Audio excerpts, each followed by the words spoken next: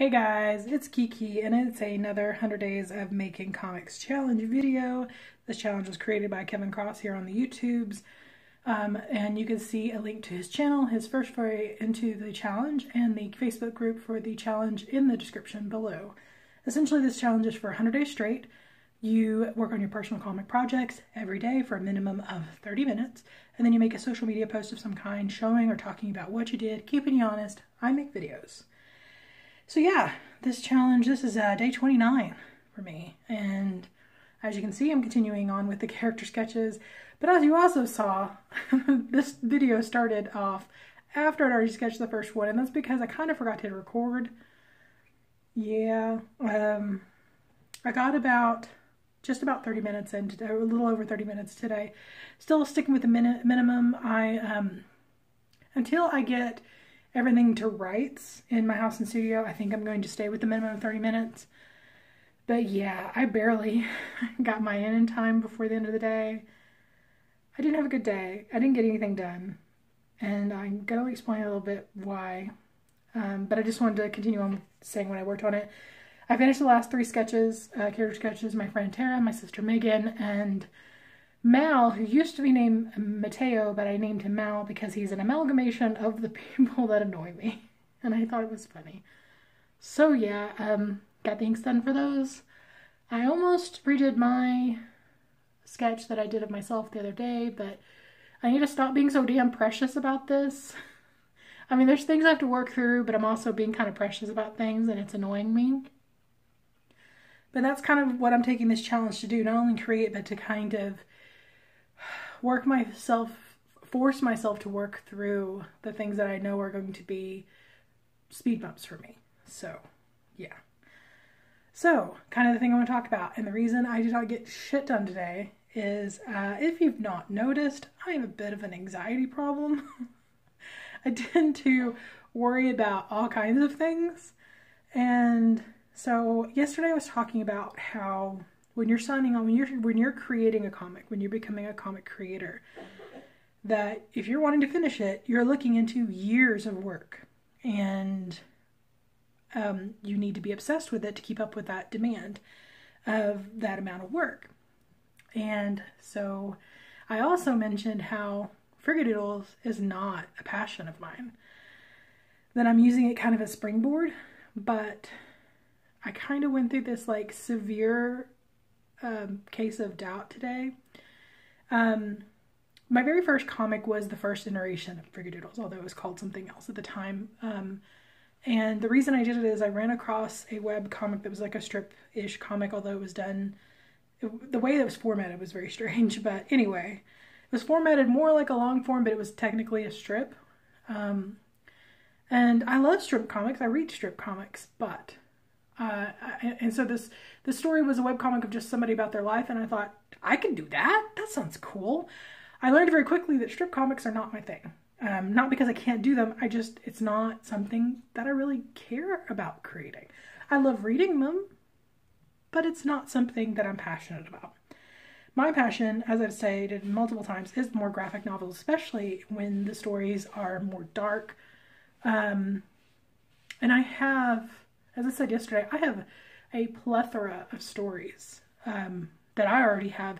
I, have. I can name at least five that I have character sketches of, the story ideas mostly mapped out, um, all kinds of stuff on them, and that I really want to do. And so I started panicking a little bit because it, I was doing the math and guys, I'm going to be 40 next year. And my worry was how many am I going to be able to get out of these stories if I'm wasting my time on a comic that I don't care about?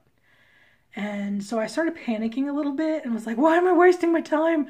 What am I doing? And then I was scared that if I, because I felt I was wasting my time with this comic, because it's not something, I mean, it's it's a possibility that I will continue on with Friggadoodles in the long term. Not very probable because, as I said, it's not my passion. I'm not obsessed with it. And it's mostly was just, I mean, essentially every time it's come up, it's been kind of a fun thing my friends were in and that I can share with my friends. And, you know, other people read it, but that was cool. I didn't really care. Um, yeah, except for a small portion where I created, it made it fictional and created completely fictional characters, but that didn't last very long. But uh, yeah, I just, I panicked and I almost quit. And because I thought, even though I'm, this is not a comic that, that I'm passionate about that I know will continue on, I was scared that if I tried to, you know, stop it, be like, okay, I'm not, I can't do this because I'm not passionate about it, and then start working on one of the graphic novels, that I would start, that I would become overwhelmed and I would backslide and I would quit. Um, because there is a huge difference. Because this this comic, I mean, not. I keep trying to say like I don't want to sit there and say, uh, you know, strip comics, y'all don't have anything. If you're doing, if you're passionate about it and you're doing it, continuing it on, yes, it, there's a lot involved in it. But I could have started drawing this comic two or three days into this challenge. And the only reason I haven't is I've been trying to take it really slowly, and I've also been being really picky about mediums. Now, that being said, um, I had this moment of kind of panic, and then I was like, if I quit, I mean, I'm wasting my time on this comic, but if I try to move to doing the graphic novels, I'll panic and freak out and I'll stop. And I think it, spent most of the day kind of panicking and seesawing over it and just. Uh. so finally, um, I got up to draw. I was like, you know what? It, I need to get this done because I want to continue on with the challenge. I want to make myself, I want to do comics. So I'll just continue on with my plan and I'll draw the next couple of character sketches. But while I was drawing for the most part of that, usually I watch YouTube videos, but I spent most of it talking with my brother about how I felt and the panic I was feeling and kind of like getting the getting the the panic out of my brain and out of my mouth into the ether to dissect it, I guess. And I think the thing that was I think what was causing me a problem is kind of like you know when you're sick uh, you're pretty sick and you take your medication and you start feeling better and you think you're good. And so you might get lax on taking your medication. You might push yourself to do things you shouldn't and then you make yourself worse. I think that's where I'm at.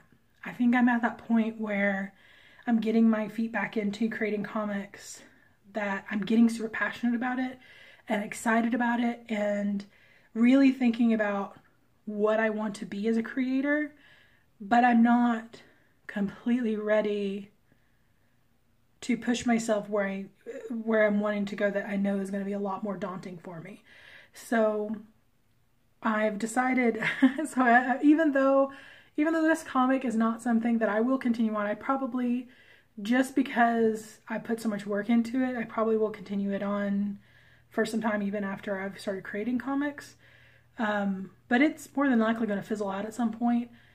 But I'm going to continue with on with this because it has, even though this is not something I'm passionate about, and even though it's not something that I see myself continuing, it has brought me back to being passionate about making comics and actually drawing again and getting excited about making writing stories again and, and, and everything. And I don't know if any of this makes any sense.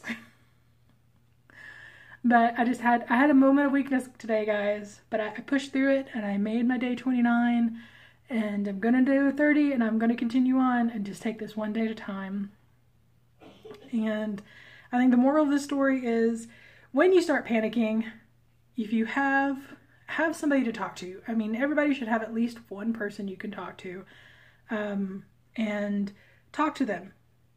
Reach out just just to, just even not even to get a correct answer or advice just to leach that anxiety and badness out of your own brain so that you can see it differently because when it's in your head it's so much bigger than what it is. So i'm going to stop panicking take a deep breath and continue on and I know I'm getting to the place where I'm almost ready to start looking into working in the graphic novel, working on my graphic novels again um, which makes me super excited. But again, I also don't want to push myself. I think I'm actually going to start doing some like real preliminary stuff, not even drawing stuff, just kind of preliminary story stuff uh, while I'm also working on Doodles, just to kind of start easing myself. Because as I said, I'm I'm getting there. I'm at that precipice of almost well when you're you know taking the sick metaphorian. and so, you know, at that point you start doing things about your house and go maybe going to work for half a day or something. You know, you start you start taking your foot out into the world to kind of get yourself back into it. So, yeah, dramatic day, boring video, and I will. Uh, I guess I'll see you guys tomorrow.